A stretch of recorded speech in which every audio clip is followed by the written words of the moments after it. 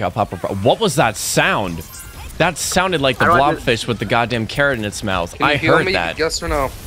Oh! Oh my god.